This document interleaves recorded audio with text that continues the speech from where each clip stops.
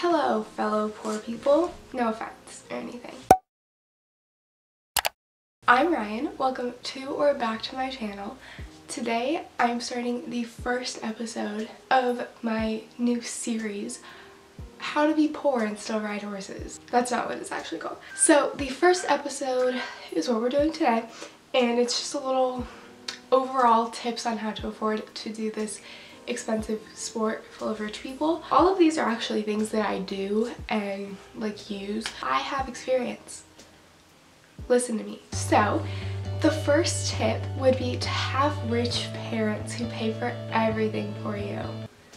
I'm kidding. So my first actual tip is to shop secondhand. If three actual stores and then Facebook. So I'm gonna start with Facebook. There's so much stuff on there and people just want to get rid of it so it's generally really cheap and they also will generally take offers on it. You can find literally anything from like clothes to saddles to any other kind of tack. The three stores would be Tried Equestrian, Used Horse Stuff, and the Tack Hack all of which I've ordered from before. They're all great. Taylor, who owns the Tried Equestrian, is like one of the nicest people I've ever talked to. And Used Horse Stuff has great customer service. I bought breeches from them and they ripped the first time I tried them on and they gave me a full refund. And the Tack Hack I've shopped at before and they are also great. And the great thing about these is you can also consign there. So you basically send your stuff there. They'll send you a free kit.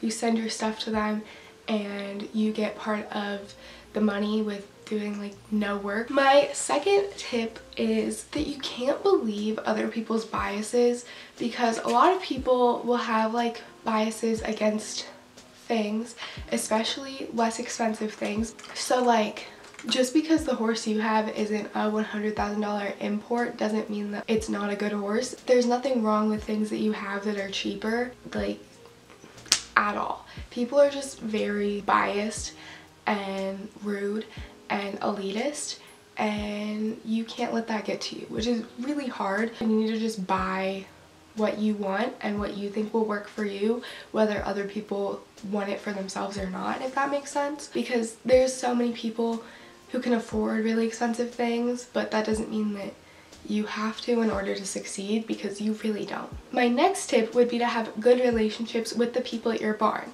Now, I want to say you should try to have good relationships with them anyway because they're probably nice people and you know you want to be friendly and all that but there are some selfish reasons to have good relationships and they will save you money or make you money or both. First of all, people who you have good relationships with, especially if they're more wealthy, might just like give their stuff away or sell it for really cheap to you because you have a good relationship with them. People will literally just give stuff away. My friend got free Ghodho breeches because they didn't fit somebody and she just literally just gave them to her and they were brand new with tags or if they're selling it they might give you like a discount or let you do payments or something also they might ask you to ride their horse if you have a good relationship with them which is super helpful if you can't afford to have your own horse because then it gives you a horse to ride maybe they don't want to pay for training rides or they just don't have time to ride their horse all the time. Lastly, if you have a good relationship with people, they might give you opportunities to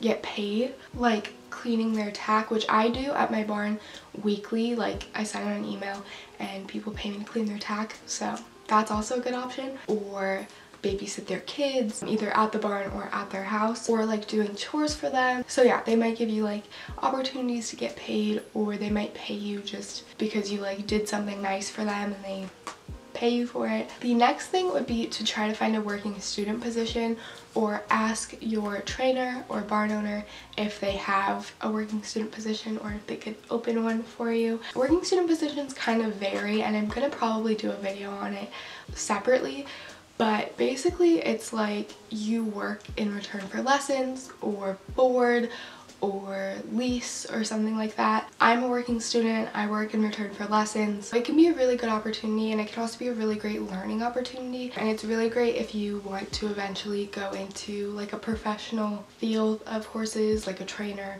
or literally anything because you're to learn a lot. And another thing I do want to talk about is not having your own horse is not the end of the world it's very nice and there are a lot of advantages to it but there are alternatives that can be just as good or have like different pros than having your own horse like leasing or riding like extra horses at your barn. I don't know if everybody's barn does this, but like my barn, if a horse like is a lesson horse or a horse just doesn't have anybody to ride it that day, you can ask them and they'll be like, yeah, like we have this extra horse.